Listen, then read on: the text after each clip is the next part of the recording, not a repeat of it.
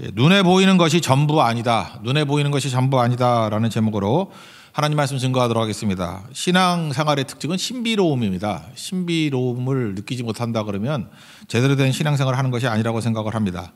신자, 믿는 사람과 불신자의 차이점이 무엇입니까? 신비를 아느냐 모르느냐 그 차이입니다. 신비가 뭡니까? 신비라고 표현했지만 사실 우리가 은혜라는 말을 더 많이 쓰죠. 은혜, 돕는 손길이 있습니다. 보이지 않는 손이 있습니다. 보이지 않는 주, 부어지는 축복이 있습니다. 그게 신비죠. 어떻게 이런 일이 벌어지지? 그런 거라는 거예요. 어, 대표적인 게 고난이죠. 고난이 좋다고 생각하는 사람이 누가 있습니까? 근데 지나놓고 보니까 고난의 유익이 있잖아요. 찬송가 25장 보면은 멸류관 뭐 드려서인가요? 뭐 그런 거. 2절 보니까 제 기억에 그런 말씀 나오는데 그 천사도 천사도 흠모하는 게 있대요. 그게 바로 뭐냐 하면은 고난의 신비 알고자 흠모하도다. 뭐 이런 찬양이 있거든요. 고난의 신비 알고자. 그러니까 천사도 알고 싶은 게 뭐냐면 고난이 저 나쁜 건데 근데 신비롭다는 거예요. 물론 예수 그리스도 십자가를 말하는 거겠죠. 어떻게 고난 당하는 것 같은데 어떻게 저렇게 큰 승리를 하게 되나 이런 걸 깨닫게 된다라는 것입니다. 우리가 신앙생활하면서 이런 걸 되게 많이 느껴요. 어, 어려운데 그게 우리 형통한 길이었고 오히려 되게 힘들었는데 내 신앙의 성장이 있었어요. 그 최근에 우리가 교제하고 또 우리가 섬기고 있는 교회 중에 하나가 부천에 어떤 교회 있다 그랬죠. 그 양 목사님인데 그 목사님이 저한테 메시지를 하나 보냈더라고요. 뭐 정확히 기억은 안 나는데 이런 거예요. 뭔지 모르지만 이런 일련의 일들을 통해서 자기 자신을 살리려고 하는 하나님의 일하시는 손길이 느껴진답니다. 뭐 만남을 통해서 뭐 전화 우리 목사님들 만남을 통해서 대화를 통해서 또 주변에 벌어지는 일을 통해서 이분이 막 지금 흥분해 있어요. 그죠? 이렇게 익사이팅하다는 거예요. 하나님이 막 일하고 계신다는 거예요. 그래서 큰 힘을 얻고 너무나 감사한 삶을 살고 있다. 표현이 뭐예요? 고난의 신비라는 거죠. 고난 나쁜 건데 정말 신비로워요. 그것 때문에 힘을 얻고요. 그것 때문에 오히려 비전이 보이고 그것 때문에 문제도 풀려 문제 풀리는 게 문제가 아니죠. 더 큰 것들을 얻게 되는 것들이 있더라는 것입니다. 오늘 그 얘기예요. 오늘 내용이 뭐냐면 선지자의 제자들 그랬으니까 요즘 식으로 하면 신학생이죠. 신학교 많이 모이는 거 봅니다. 이 박해 시대인데도 불구하고 부흥임한 거죠. 신학생들이 막 모여들었어요. 근데 옛날이나 지금이나 똑같은 것 같아요. 왜 신학생들 왜 이렇게 가난한지 모르겠어. 가난한 사람만 가는 건지 나 잘 모르겠어요. 똑같은 대학원생인데 신학생만 되면 그 빈티가 나 이렇게 가난해. 그죠? 그래서 여기도 또 가난했는가 봐요. 가난해가지고 핍박당해서 그랬겠죠. 가난해서 지금 핍박도 없잖아. 근데 왜 가난하지? 잘 모르겠어요. 하여튼간에 가난한 사람들을 보내는 건지 여기도 가난한 사람이 왔어요. 잘 데가 없는가 봐요. 그래서 숙소가 좁으니까 요단강에 가서 벌목해 가지고 좀 크게 짓고 싶습니다. 그랬더니 엘리사가 그래라 그랬다는 거예요. 근데 뭐 신학생들이 언제 뭐 도끼질 해봤나? 도끼질 하다가 도끼 날라가죠? 해봤어요? 제가 어렸을 때 저는 해본 적은 없는데 망치나 도끼 같은 거 하면은 이게 잘 빠지는가 봐. 그래서 막 못도 넣고 못 너무 많이 치면 또 나무가 쪼개져. 그럼 막 화내는 거 내가 보고 막 그랬어요. 이게 전문가 아니면 잘 도끼질 힘든 거예요. 근데 이게 비전문가가 도끼질 하니까 도끼질 하다가 도끼가 쇠도끼가 날아가 버린 거예요. 물속에 풍덩 빠져 버렸어요. 우리나라 뭐 할아버지 얘기는 가죠. 뭐 금도끼, 은도끼 생각나죠. 이렇게 도끼가 빠져 버렸다고. 그럴 때 이제 당황하는 거죠. 가난하니까 빌려온 도끼인데 어떡합니까? 아, 뭐 괴로워하고 있습니다. 그때에 엘리사가 뭐 나무까지 뭐 집어던지니까 도끼가 떨렀대. 아, 사실 이거 내용보다 중요한 건 뭐냐면 이게 기적이 벌어졌다 그런 얘기죠. 기적이 벌어졌다. 이게 무슨 얘기예요? 신앙생활 하다 보면 이렇게 연약하고 부족한 사람들 가운데 하나님께서 이렇게 특별한 신비로움을 보여주는 때가 있다라는 거예요. 여러분 삶 가운데서 이렇게 쇠도끼 떠오르는 그런 경험들이 있을 거예요. 말도 한다는 일, 간증하면 아무도 믿지 않는 일들 그런 일이 벌어진다 그런 얘기예요. 5절, 6절, 7절 읽겠습니다. 시작. 한 사람이 나무를 벨 때 새도끼가 물에 떨어진지라 이에 외쳐 이르되 아 내 주여 이는 빌려온 것이니이다 하니 하나님의 사람이 이르되 어디 빠졌느냐 하매 그것을 보이는지라 엘리사가 나뭇가지를 베어 물에 던져 새도끼를 떠오르게 하고 이르되 너는 그것을 잡으라 집으라 하니 그 사람이 손을 내밀어 그것을 집으니라 당시가 박해 시대였거든요.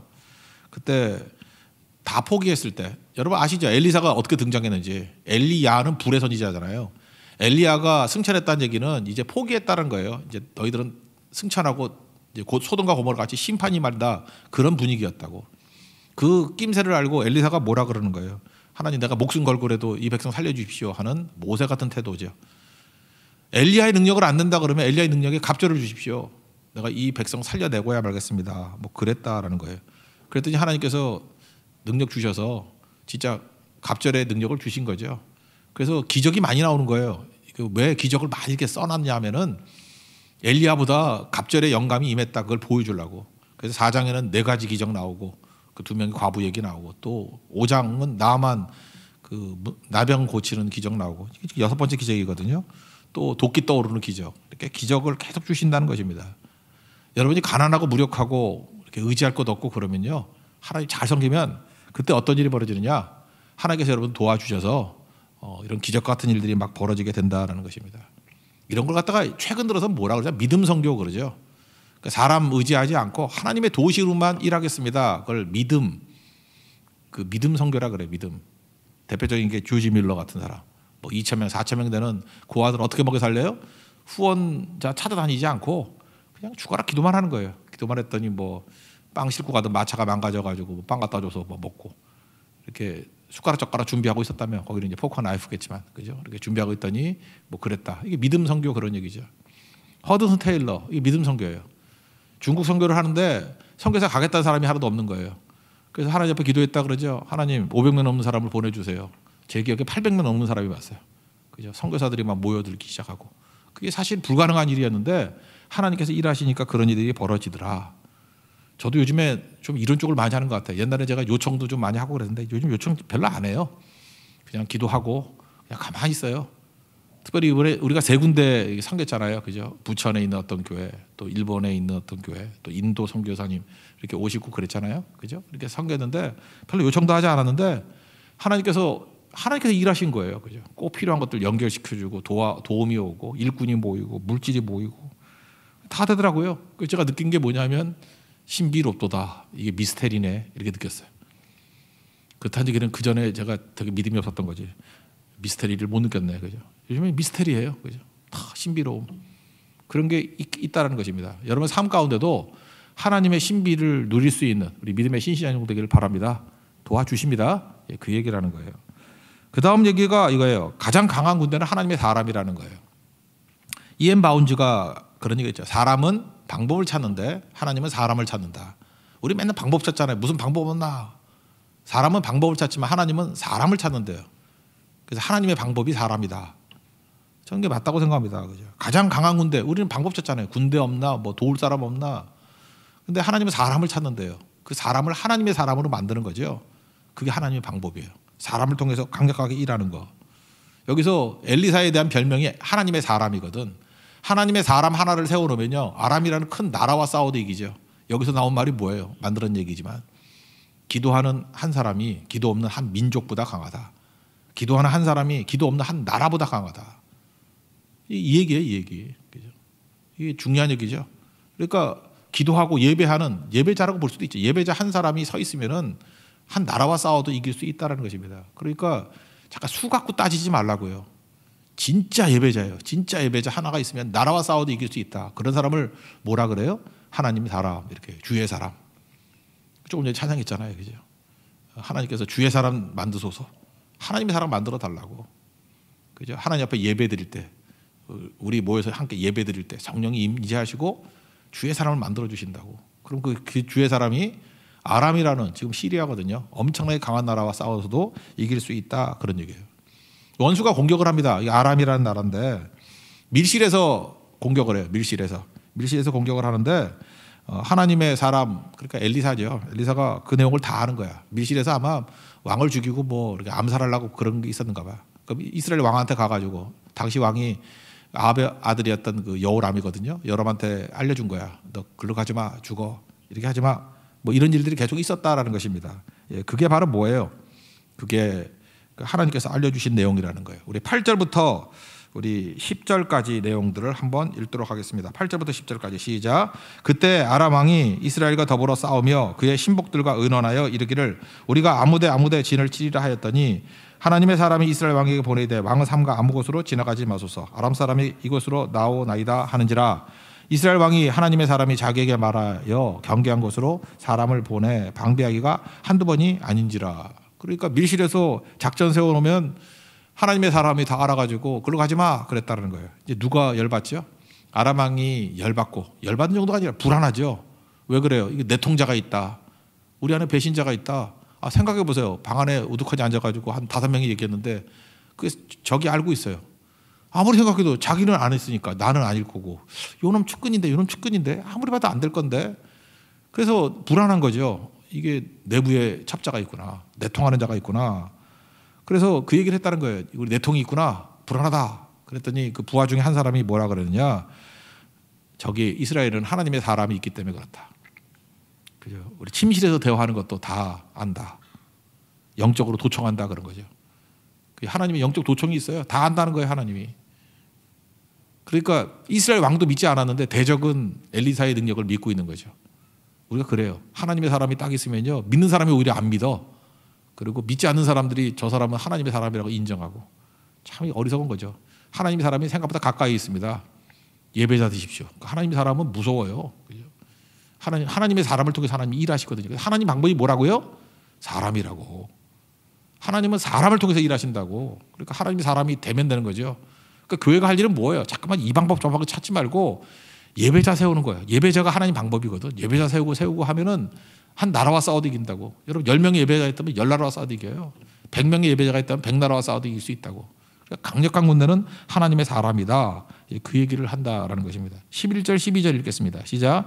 이러므로 아람 왕의 마음이 불안하여 그 신복들을 불러 이르되 우리 중에 누가 이스라엘 왕과 내통하는 것을 내게 말하지 아니하느냐 하니 그 신복 중에 한 사람이 이르되 우리 주 왕이여 아니로소이다. 오직 이스라엘 선지자 엘리사가 왕의 침실에 사신 말씀을 이스라엘 왕에게 고하나이다 하는지라. 그러니까 하나님의 사람이 군대죠. 하나님의 사람이 재산이죠. 예배자가 재산입니다. 그래서 교회는 뭐 어중이 떠중이 자꾸 생각하지 말고 진짜 예배자가 누군지 그 예배자가 가장 강력한 무기라니까요. 가장 강력한 군대라니까요. 대적은 그 알고 있어요. 세상은 알고 있다고. 그러니까 세상은 교회를 무너뜨리기 위해서 하는 일이 뭐예요? 예배자 없게 만들려고. 예배자 무너뜨리려고 온갖 짓을 다 하는 거죠. 그러니까 우리 생명 걸고 예배자만 만들면 그 한 사람 만들면 그 사람이 나라와 싸워도 이긴다니까요. 그러니까 중요한 거죠. 그러면 하나님의 사람이란 게 뭐냐는 거예요. 하나님의 사람이라는 게 뭐냐. 하나님의 아까도 찬양 있잖아요. 그저 우리 예배자 우리가 드려서 우리 함께 모여서 예배 드린다고. 그리고 성령이 임하면 주의 사람 만들어 하나님의 사람 만들어 주신다고. 순서가 그런 거 아니에요? 그 하나님의 사람은 성령이 역사하니까 성령이 예배 가운데 역사할 때 일단 보면 세 가지가 있는 것 같아요. 눈을 열어줘요. 성령이 열어주는 거거든. 눈을 활 그래서 안 보이는 게 보여. 눈을 열어주고 귀를 열어줘요. 안 들리는 게 들려. 성령 역사하면 잘 들려 하나님 말씀이. 악령 역사하면 이렇게 흐릿하게 하는 영, 이렇게 혼미케 하는 영이 있어가지고 고린도 후소 나오잖아요. 4장 4절인가 이렇게 하나님의 복음의 광채가 잘 들리지 않게 만들어 버려요. 그리고 무엇보다도 어, 마음이 다쳐요. 이게 마음 열라 그러잖아요. 그죠?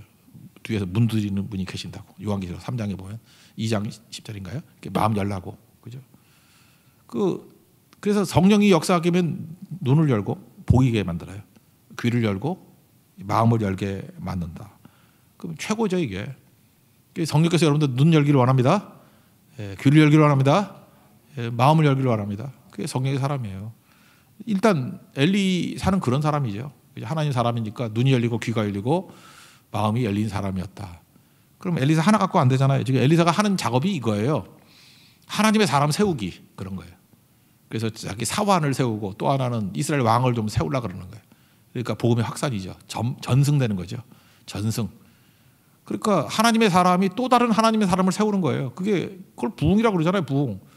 여러분 나 내가 먼저 하나님의 사람을 서야 되고 예배자로 서야 되고 기도자로 서야 되고 마귀가 제일 싫어하는 게 뭐냐면 전염시키는 거예요. 또 다른 사람을 예배자로 세우는 거. 그죠? 기도자로 세우는 거. 그래서 하나님 사람으로 세우는 거. 그게 오늘 핵심입니다. 그래서 사환에게 그 능력을 주는 거죠. 하나님 사람이 되게 하는 능력. 여기 사환은 뭐 문맥상 보면 개하신 것 같아. 앞부분에서 그 불순종 해가지고 나병 걸렸던 개하신. 그러니까 돌아왔다고 좀 봐요. 이게 문맥상 보면 개하시거든요. 어, 개하시도 또 하나님 앞에 쓰임 받게 되는 거죠. 하나님 사람으로 세워지게 되는 거. 아람 왕이 엘리사 때문에 그렇다 그러니까 죽여라 그랬다는 거예요. 그래서 거기가 있던 데가 도단인데 도단이라는 것은 참 하나님 사람들이 시험 많이 당한 데 같아. 도단 도단 모르세요? 그 요셉이 팔려갔던 데가 도단이잖아. 형들에게 꿈꾸는 자가 어느 도다 그래가지고 구덩이 집어넣고 팔아먹었던 데가 도단인데 이 도단에서 또 어려움을 당해요. 그래서 여러분 혹시 성지순례 가더라도 도단은 가지 마세요. 예, 도단은 시험이 많은 곳인 것 같아. 이게 도단이에요. 그 도단에 있다 그랬더니 도단 성인 성, 성읍인가 봐 거기가 포위를 했다고. 그것도 한 사람 잡으려고 글쎄 뭐 말과 병거 뭐 잔뜩 가가지고 포위해 버렸어요. 13, 14절 읽겠습니다. 시작. 왕이 이르되 너희는 가서 엘리사가 어디 있나 보라. 내가 사람을 보내어 그를 잡으리라. 왕에게 아뢰되 이르되 보라 그가 도단에 있도다 하나이다. 왕이 이에 말과 병과 많은 군사를 보내매 그들이 방에 가서 그 성읍을 애워 쌌더라. 눈에 보이는 게 전부가 아닙니다. 눈에 보이는 건 뭐가 보여요? 아람 군대가 보여요. 이제 성을 둘러싸고 포위한 그 엄청나게 많은 군사, 뭐 말과 병거, 그러니까 뭐 총동원했다 그런 얘기죠. 그러니까 우리도 그러잖아 게임이 안 돼 뭐 이런 거잖아요. 그죠? 너무 많은 것이 와서 중과 부족이야 뭐 이런 거죠. 근데 우리가 보는 건 우리 눈은 개눈이에요. 우리가 지금 직접 보는 것도 얼마나 봅니까? 제가 옛날에 그 뭐 조사했던 자료들 보니까 우리가 보는 거 5%도 안 보인대요. 우리가 보이는 거는 가시광선 그러잖아요. 가시광선 위가 적외선, 자외선 이런 거 있잖아요. 우리가 세상에 빛이 많이 있는데 그 중에 한 5% 보고 듣는 것도 이 사이클이 있잖아요. 그 사이클에 그 가청권이 있잖아요. 그거 얼마 안 돼요. 그래서 우리가 못 듣는 거 걔는 듣잖아요. 그래서 여러분들 뭐 지진 나거나 자연재해 일어날 때 갑자기 뭐 뛰어나고 막 그러잖아. 그죠? 뭐 토끼가 뛰어나오고 뭐, 뭐 뭐라 그러죠? 그뭐 동굴 같은 데도 가스 있을 때 뭐 새 들고 가고 그러잖아요. 그죠? 이렇게 막 나오고. 그러니까 동물 감각이 우리 인간 감각하고 다르거든. 그래서 우리가 본다라는 것도 일부분이에요. 있는데 못 보는 거 많아요. 듣는다고 하는데도 못 듣는 거 되게 많아요. 그래서 그런 거 있잖아요. 뭐 어렸을 때 10대 때는 들리잖아. 어떤 소리. 그 뭐 옛날에 그 어디죠? 삼성폰은 그런 거 있대 기능. 어른 어른들은 안 들리는 거. 귀가 맛이 같다는 소리야. 그죠? 그 얘기죠. 그잘안 들리는 거예요. 그러니까 들을 수 있는 게 엄청 많은데 지구 돌아가는 소리가 들리면 우리가 피곤해서 어떻게 자? 그러니까 안 들리는 거지. 우리 집 강아지가 이제 15년이 지나가지고 귀가 안 들려요. 그래서 내가 보청기를 갖다 꽂아줄까 했더니 수의사가 하지 말래. 왜냐 나이가 들어가지고 힘든데 안 들리는 게 오히려 하나님 주신 복이래. 왜냐 잘 들리면 주인한테 충성하는 게 개니까 또 와가지고 또 뛰, 뛰니까 얼마나 힘들겠냐. 지금 91세인데 한국 사람 나이로 가면은 그죠? 그래서 하나님께서 그래서 안 들리게 만드는 거래. 어, 그 일리가 있더라고, 그죠? 안 들리게 만드는 거. 그래서 나름 평, 평안함을 누리고 있대 지금. 보이는 것만 자극하니까 몸이 약해졌으니까. 그것도 좋은, 좋은 해석인 것 같아요. 근데 거기서 하나 깨달은 게 뭐냐면 어, 역시 그 인간의 인간이나 동물의 감각이라는 것이 제한적인 거지 훨씬 더 많은 것이 있다라는 걸 또 알게 되는 거죠. 근데 개의 문제는 뭐예요? 이 코죠, 코. 냄새 후각이 발달해 가지고 또 얘가 못 쉬는 거야. 그러다가 또 코를 뭉개, 뭉갤 수도 없고 다 그런 거예요. 냄새가 있다고 다 맞는 것도 아니고 보이는 거 다 보는 것도 아니고 듣는 거 다 듣는 것도 아니라는 것입니다. 영적인 세계가 말할 것도 없죠. 하나님이 열어 주시면 보이는 거죠. 성령께서는요 우리가 못 보는 걸 보게 만드십니다. 믿습니까? 보게 만드셔요. 그래서 대적이 보이는 게 아니라 불말과 불병과가 보이면 안심하겠죠. 담대하겠죠. 그래서 강하고 담대하라. 이거 서로 우리가 맨날 강하고 담대하십시오. 근데 전제가 뭔지 알아요? 성령 안에서. 성령께서 나와 함께 하신다는 확신이 주와 함께라면 가난해도 좋아 병들어도 좋아 그런 마음이 있어야지만 샬롬이 오는 거지. 이거 서로 앉아가지고 마인드 컨트롤이야? 우리 염려하면 안 돼요? 두려워하면 안 돼요? 두려워하지 맙시다. 하면 된다. 건배. 그러면 안 되지 그죠? 뭐 이게 정신 나간 애들이죠. 그런다고 두려움이 없나? 그 술에 취한 거지? 취한 인생이지 그게 진짜 확신이에요? 아니죠. 언제 확신이 와요? 봐야지. 불말과 불병거를 봐야지 더 많은 이 둘러싼 것보다 더 많은 불말과 불병거를 봐야죠. 그러면 뭐 더 말할 게 뭐가 있어요? 확신이 오는 거죠. 그래서 여러분 믿음 가진 사람들이 그래서 여유만만이에요. 그래서 평안함이 있는 거라고 확신이 있는 거라고 왜 봤기 때문에 들었기 때문에 예수님께서 그 말씀하실 때 이사에서 인용겨 가지고 맨날 얘기하잖아요. 보기는 보아도 보지 못하며 듣기는 들어도 듣지 못하는 자들이 있다고. 그 본다고 들어도 못 들어요. 봐도 못 본다고. 근데 성령께서 함께 하시면은 보는 것들이 보이게 만들고 듣는 것이 들리게 만든다는 것입니다. 이게 놀라운 일이죠. 하나님의 크신 일이에요. 조금 전에 우리가 시편 40편 찬양 불렀죠. 그 앞부분이 난 너무 좋아요, 그게. 옛날에 뭐 제 중고등학교 때 많이 불렀던 노래인 것 같은데. 그죠? 하나님의 음성을 듣고자 기도하면 나 이게 고등학교 때 이게 너무 좋았어. 저는 노래를 잘 못하지만 그래서 가사의 은혜를 받았어 항상. 나는 가사를 분석했거든. 쟤네들은 노래를 잘합니다. 그렇지만 보니까 애들이 머리가 없어가지고 그냥 대충 부르는 것 같습니다. 저는 노래를 못합니다. 대신 가사에 대한 묵상의 능력을 주십시오. 그랬어요. 그때 하나님이 하나를 거두어 가시고 하나를 주셨어. 그래서 제가 가사 분석은 진짜 많이 했어요.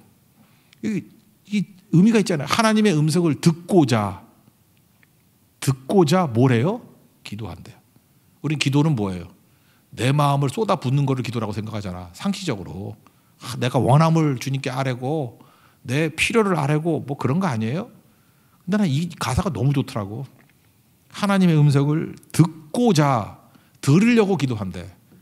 이게 시편 40편 보면 6절에 이런 얘기가 나요. 주께서 내 귀를 통하여 내게 들려주시기를 여기서 나온 얘기거든. 6절에 어, 제사와 예물 뭐 이런 거 겉으로 드리는 예배 이런 거 기뻐하지 않는데 그때 내가 말하기를 나를 가리켜 기록한 것이 두루마리 책에 있나이다. 그러니까 내게 주신 하나님의 뜻이 두루마리 책 성경에 다 있다라는 걸 깨닫게 됐어요. 이 시편 기자가 성경에 다 있지 두루마리 책에 다 있지. 그리고 그 하나님의 뜻대로 내가 순종하기를 원하는 거야. 할 수 있는 건 순종하기라 그랬잖아요. 그래서 하나님의 내가 주의 뜻 행하기를 즐겨 하오니 그 다음에 뭐라고 고백하잖아요. 이게 멋진 얘기예요. 주의 법이 내 심중에 있나이다. 하나님 말씀이 성경책에 있는 것을 너무 순종하고 싶어가지고 그 말씀을 갖다가 그대로 옮겨가지고 마음속에 집어넣었대요. 주의 법이 내 심중에 있대요. 그러니까 심중에 집어넣으려면 어떻게 돼요? 마음이 열려야지. 그러니까 시편 40편 얘기는 뭔지 알아요? 하나님의 성령께서 그에게 눈을 열어주고 귀를 열어주고 그러니까 눈이 열리니까 성경책에 뜻이 있다는 걸 깨닫게 만들고 귀를 열어서 그 성경책의 말씀이 들리고 나중에 마음을 열어가지고 하나님 말씀이 내 심중에 그냥 가슴 속에 확 들어와 버렸대. 안 놀라워요? 아, 나 고등학교 때 이거 너무 놀라워가지고 막 펄펄 뛰고 장독도 뛰고 막 그랬었는데, 그죠? 와, 이런 사람들에게 해달라고. 그죠? 이게, 이게 중요한 거 아니에요? 이런 거죠. 그러니까 성령께서 열어 주신다고. 하나님 사람이 뭐예요? 눈이 열린 사람. 하나님 사람이에요. 하나님 사람이 누구예요? 귀가 열린 사람. 하나님 사람이라고. 하나님 사람이 누구예요? 마음이 열린 사람. 지금 하나님께서 어, 이런 사람으로 엘리사를 세웠다고 그래서 하나님의 사람 엘리사잖아요. 근데 그의 사환도 그런 사람 되게 하려고 어떻게 보면 일부러 그 나사라 죽을 때까지 늦게 가셨던 예수님 같이 이렇게 뭐 지금 아람이 오는 거 몰랐겠어 봐 피하려고 마음먹으면 옛날에 피했지 일부러 잠이나 잔 거라고 도사님 같이 그래서 다 포위하게 만들고 그래서 사환이 쫄아가지고 아 어떡합니까 포위 당했습니다 그럴 때 일부러 위기까지 오게 만든 거죠 이게 고난의 신비라고 그래서 눈을 열어주고 귀를 열어주고 마음을 열어가지고 불말과 불병거가 가슴속에 확 들어오게 만들어 주셨다. 우리 가운데도 그렇다는 거예요. 여러분 삶 가운데 지금 고난이 있습니까? 어려움이 있습니까? 이거 기회예요. 하나님께서 여러분의 눈을 열고 귀를 열고 마음을 열어서 하나님의 불말과 불병거를 보는 시간이 될 줄로 확신합니다. 믿습니까? 예, 불말과 불병거가 보이면 돼요. 그 소리가 들리면 돼요. 그 말씀이 마음속에 확 들어오면 된다고. 그럼 승리하게 된다라는 것입니다. 15절부터 17절까지 읽겠습니다. 시작. 하나님의 사람의 사환이 일찍 일어나서 나가보니 군사와 말과 병거가 성읍을 에워쌌는지라 그의 사환이 엘리사에게 말하되 아 내 주여 우리가 어찌하리까 하니 대답하되 두려워하지 말라 우리와 함께한 자가 그들과 함께한 자보다 많으니라 하고 기도하여 이르되 여호와여 원하건대 그의 눈을 열어서 보게 하옵소서 하니 여호와께서 그 청년의 눈을 여심해 그가 보니 불말과 불병거가 산에 가득하여 엘리사를 둘렀더라 이걸 보는 종 되기를 원합니다. 그래서 이걸 보는 사람을 뭐라 그래요? 하나님의 사람 그런다고요. 여러분 하나님 사람 되십시오. 주의 사람이 뭐예요? 하나님의 사람은 눈이 열린 사람, 귀가 열린 사람, 마음이 열린 사람. 그래서 엘리사는 지금 사환을 하나님의 사람 만드는 일을 하고 있다는 거예요. 하나님의 사람으로 세워 주십시오. 그 다음에 이스라엘 왕객인데 이 사람한테 또 마음을 여는 거예요. 마음을. 마음을 열어야 하나님의 말씀이 주의 법이 심중에 있나이다 그러죠. 순종이 가능하죠. 순종이 뭐라 그랬어요? 할 수 있는 거 순종, 할 수 없는 거 신뢰. 순종과 신뢰가 가능한 인생이 됐다는 것입니다. 여기 또 엘리사가 그 아랑 군대에 눈을 어둡게 만들어 버렸습니다. 깜깜하게 만들어 가지고 이렇게 살살 몰고 온 거야. 그랬더니 잘 안 보여 가지고 이 멍청한 놈들이 이게 포위했던 애들이 사마리아 성 한복판에 온 거예요. 그러니까 적진 한복판에 온 거야. 잘못 들어간 거지. 그러고 난 다음에 눈을 딱 열었어요. 다시 보이게 해. 주시옵소서. 그랬더니 이게 뭔, 뭔 일이 이게 머선 일이고 이런 거죠. 예. 이게 머선 일이고 갑자기 와가지고 보니까 대적 한복판에 있는 거예요. 그래서 그냥 포위했다가 갑자기 포위 당하게 돼버린 거죠. 말뜻 못 들겠어요? 그 하나님께서 이렇게 이상한 일을 하신다고요. 그래서 신앙생활 잘하다 보면요. 막 역전이 돼. 뭐 다 진 것 같은데 완전 이기고 포위 당한 것 같은데 또 포위하고 뭐 그런 일이 벌어지게 된다고. 그래서 주가 돕지 않으면 아무것도 안 된다. 이건 뭐 읽어보면 되겠죠. 18절부터 20절까지 읽겠습니다. 시작. 아람 사람이 엘리사에게 내려오매 엘리사가 여호와께 기도하여 이르되 원하건대 저 무리의 눈을 어둡게 하옵소서 하매. 엘리사가 말대로 그들의 눈을 어둡게 하신지라. 엘리사가 그들에게 이르되 이는 그 길이 아니요 이는 그 성읍도 아니니 나를 따라오라. 내가 너희를 인도하여 너희가 찾는 사람에게로 나아가리라 하고 그들을 인도하여 사마리아에 이르니라. 사마리아에 들어갈 때 엘리사가 이르되 여호와여 이 무리의 눈을 열어서 보게 하옵소서 하니 여호와께서 그들의 눈을 여심해 그들이 보니 자기들이 사마리아 가운데 있더라. 얼마나 황당했겠어. 그죠 이렇게 이끌고 어, 어리어리해서 따라왔더니 적진 한복판에 딱 있게 되는 거예요. 이때에 제일 열받았던 게 누구겠어요? 이스라엘 왕이죠. 쫄았다가 저 강한 놈인 줄 알았더니 우리 한복판에 왔네. 그 여호람이 갑자기 엘리사에게 극진하게 대답하는 거예요. 아, 내 아버지요. 어, 이거 최고죠. 그죠? 국부요. 뭐 이런 얘기 아니에요. 내 아버지요. 그리고 죽이고 싶었는가 봐. 7이니까 7이니까 두 번이라 그래. 원래 두 번 얘기할 때는 원하는 거거든요. 뭐 저희 딸도 그래요. 아빠 가요, 가요. 그러면 진짜 가고 싶은 거예요. 가요? 그러면 그건 안 가도 되는 거야. 되게 그런 차례 사람이 치리까 치리까 너무 치고 싶은 거예요. 근데 여기서 엘리사가 지금 이스라엘 왕에게 주고자 하는 마음이 뭐예요? 하나님의 마음이죠. 사실은 복수보다 무서운 게 부끄러움이거든요. 그래 부끄럽게 만들라는 거예요. 그 원수를 향해서 우리 복수하란 말이 성경에 없죠. 복수가 아니라 우리 잘해주라는 거죠.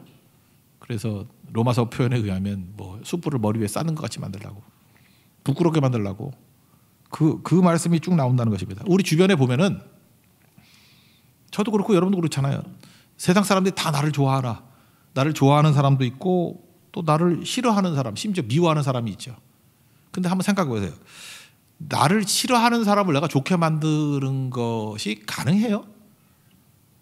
저는 평생 살아봤더니 뭐 그렇게 매력적인 사람이 아니라서 그런지 모르지만 난 그게 불가능하더라고. 나는 그거 그래서 지금도 이해를 못 하겠어. 그 가끔 이렇게 총각들 보면 남자애들 있잖아요. 그 자기 싫다는 여자한테 따라가가지고 잠깐 매달리고 막 그러더라고. 나 좀 좋아해 달라고. 내가 볼 때 그 성공 확률 1%도 없어. 내가 싫다는 여자가 따라다니면서 좋, 좋게 변화되는 걸 본 적이 별로 없어. 여기 총각들 잘 들어봐요. 예. 그건 때 어리석음이야. 근데 되게 쉬운 건 뭐냐면 이렇게 생각하면 돼. 나 좋다는 사람 중에서 고르면 돼. 되게 쉽잖아. 성공률 99%. 딱 보면 몰라? 괜히, 괜히 와서 옆에서 얼쩡거리고 옆에서 밥 먹으려고 그러고 웃기지도 않은 얘기 웃어주고 그 호감을 표현하는 거 아니에요. 그 중에서 고르면 되지. 그러니까 뭐 어렵지 않죠. 세상이 다 그런 거예요. 그래서 세상이 너무 이렇게 누구 마음을 바꾸려고 하는 거에 인생 걸지 말라고. 사람 마음 안 바뀌어요. 안 바뀌고 그거 우리 그런 능력 있는 사람 몇 명 없어. 뭐 송중기 정도 돼야지 될까? 우리 그런 능력 없어. 그죠? 여기 우리 교회 한 명도 없어. 내가 볼 때. 그런 사람 한 명도 없으니까 다 포기해. 아무도 없어. 아무도. 그냥 나도 보기 싫어. 그러니까 없어. 없다고 생각하면 돼. 우리 하나님의 능력과 은혜로 살아야 돼. 절대 없어요. 자매들이 웃고 있는데 똑같아요. 똑같은 얘기야. 다. 우린 그런 존재들하고. 뭐 그렇게 누구 마음을 뒤집을 정도로 그렇게 압도적인 매력을 크리스찬들에게 잘 안 줘요. 왜? 좁아야 죄, 죄나지니까. 그렇게 잘 안 준다고. 그래서 우린 남의 마음을 잘 못 바꿔요. 못 바꾼다고. 그러면은 주도적으로 할 수 있는 거 있잖아. 나를 싫어하고 미워하고 하는 거 마음을 바꿀 수 없지만 내가 마음을 주도적으로 바꿀 수는 없으니까 내가 주도적으로 할 수 있는 거 있죠. 그런 사람을 위해서 사랑해 주는 거. 그런 사람을 위해서 기도해 주는 거. 그런 사람을 위해서 축복해 주는 거. 예수님께서 그랬잖아요. 원수를 위해서 기도하라고. 원수를 위해서 축복하라고. 그걸 할 수 있잖아요. 그 마음이 열려야 하지. 하나님의 주의 법이 내 마음속에 확 들어와야지 할 수 있는 거지. 그래서 이스라엘 왕에게 이거 하게 시키는 거예요. 억지로라도. 왜? 순종하게 만드는 거거든. 그 마음이 열렸으니까 순종하게 되는 거 아니에요. 하나님 백성들이 이에는 이 눈에는 눈 나는 거울이야 뭐 한 그대로 할 거야 뭐 보복할 거야 뭐 있는 네가 잘하면 나도 잘하고 메아리 같아 이거 올바른 거 아니에요 그거는 마음이 닫혀 있는 거예요 세상하고 똑같은 거지 우리는 마음을 열고 하나님 말씀을 그대로 받아들이는 거예요 그래서 할 수 있는 거 순, 이거 할 수 있잖아 순종하는 거예요 할 수 없는 거 신뢰하고 그 다음에 내용은 주님께 맡기는 거지 뭐 그래서 엘리사가 마음 여는 훈련을 시키는 거예요 하나님 사람 만들라고 이스라엘 왕 여호람. 그죠? 이게 중요한 거죠. 21절부터 23절까지 내용 읽겠습니다. 시작. 이스라엘 왕이 그들을 보고 엘리사에게 이르되 내 아버지여 내가 치리이까 내가 치리이까 하니 대답하되 치지 마소서 칼과 활로 사로잡은 자인들 어찌 치리이까 떡과 물을 그들 앞에 두어 먹게 마시 하고 그들의 주인에게로 돌려보내서 하는지라. 왕이 위하여 음식을 많이 베풀고 그들이 먹고 마심에 놓아 보내니 그들이 그들의 주인에게로 돌아가니라. 이로부터 아람 군대의 부대가 다시는 이스라엘 땅에 들어오지 못하니라. 복, 수보다 더 무서운 게 부끄러움이라 그랬잖아. 그러니까 엘리사가 하라는 대로 순종했죠? 보세요. 얼마나 강력해요. 그래서 떡과 물 주고 음식 많이 베풀고 먹고 마시고 놓아줬대요 그리고 돌아갔으니 이 사람들이 돌아가서 가만히 있겠어? 야, 그 무서운 놈들이더라. 우리 다 죽일 줄 알았더니 글쎄 음식 베풀고 먹고 마시게 하고 돌려보내더라. 무시무시해. 오히려 더 무서운 거죠. 그죠? 공포에 질리는 거죠. 한번 생각을 해보세요. 어떤 사람에게 복수를 해보라고 복수를 하면은 만약에 여러분 아버지 어머니를 누가 죽였어. 그럼 그 아들과 딸들이 가만히 있겠어? 와신상담, 쓸개로 반찬을 먹으면서 막 핥으면서. 와신상담. 야, 쓸개 갖고 와. 그래서 뭐 순대집 가서도 쓸개 없어요. 그래서 쓸개만 맨날 핥고. 그러면서 얼마나 강해지겠어. 안 그래요? 반면에 이렇게 보내면 어떻게 돼요? 야, 너무 센 놈이 아무것도 안 되지. 그러는 거죠. 오히려 잘해줘야지. 여러분, 너무 보조금 받고 남 도와주는 거 받으려 그러지 말아요. 그 아메리카 인디언 되고, 되고 싶어요? 아메리카 인디언들이요, 보호구역에 놓고 돈 몇천 불씩 주면은 흐리멍텅한 족속밖에 안 된다고. 하나님께서 우리를 아메리카 인디안으로 만들 것 같아요? 십자가의 군병으로 만들지. 복음과 함께 고난받으라 이런 인물을 만드는 거지. 안 그래요? 이게 무서운 거라고. 우리 세상을 향해서 우리는 마귀 너무 세게 만들 필요 없어. 잠깐 보조금 줘도 약하게 만들어야 돼. 잘 먹여 보내야 돼. 잘 먹여 보려고. 싸우려 그러면 지는 거예요. 일이와 싸우되 양으로 이겨야지 일이 돼서 이기는 건 우리가 당하는 거예요. 이기고도 일이 되니까 마귀가 승리한 거라고. 그래서 로마서 말씀 나오잖아. 읽어드릴게요. 12장 20절. 내 원수가 줄이거든 먹이고 몽하거든 마시게 하라. 그리 함으로 내가 숯불을 그 머리에 쌓아 놓으리라. 악에게 기지 말고 선으로 악으리라. 숯불을 머리에 쌓는다는 게 뭐냐? 그럼 아, 숯불을 머리 쌓아가지고 머리부터 태워 죽이는 거 아닙니까? 그거 아니고 이렇게 숯불 뭐 이렇게 따뜻한 거가 있어도 이렇게 이고 있으면 이렇게 얼굴이 뻘개진대. 부끄럽게 만든다 그런 뜻이라고 해석을 해요. 문맥을 보면 지금 보복 아닌 거 알잖아요. 이게 뭐 숯불에 태워 죽인다 그 뜻이 아니고 그냥 부끄럽게 만들어서 얼굴이 벌개지는 모습을 표현하는 거라고. 부끄럽게 만드는 게 이기는 거다. 여러분 마음은 열어야 하나님 말씀대로 순종해서 세상을 부끄럽게 만들어야 된다고. 근데 우리가 계속해서 길길이 뛰면 어떻게 돼요? 우리가 부끄러워지면 안 되겠죠. 이게 하나님의 사람이 걸어가는 길이라는 것입니다. 그래서 원수가 망하는 거 너무 좋아하지 마십시오. 절대로 그 하나님의 뜻 아니에요. 도우십시오. 그리고 이상해요. 그죠? 이렇게 못된 짓 하는 사람들 보면은 그 생사 여탈권이 내게 와. 그때 살려줘야죠. 전 여러 번 경험했어요. 그거. 저 해코지 하는 사람이 있었는데 하나님께서 이게 시험같이 보내주더라고. 그때마다 항상 돈 엄청 줘서 보냈고 다 죽어가는 거 살려주고 먹여주고 나는 그게 하나님의 뜻이라고 생각하고 그게 지금까지 이렇게 연약한 종이 살 수 있는 길이라고 생각해요. 그게 하나님의 은혜라고 은혜 은혜 붙들고 사십시오. 그게 하나님의 살아가는 길이라는 거예요. 하나님의 사람 되십시오. 엘리사 하나님의 사람이었습니다. 이거는 군대보다 강해요. 나라보다 강해요. 그리고 자기 사환 하나님 사람 만들고 이스라엘 왕 하나님의 사람 만들고 이게 뭐예요? 어떻게 하나님 사람이 뭐라고요? 눈이 열리고 귀가 열리고 마음이 열리는 거라고. 여러분 내 뜻대로 마. NIBC Not I but Christ. 내가 죽고 내 안에서 그리스도로 사십시오. 그 선으로 악을 이기는 길입니다. 승리하는 길입니다. 하나님 사람 되는 우리 축복된 종 되기를 축원합니다. 자리에서 일어나겠습니다. 나는 주님께 속한 자 찬양했습니다.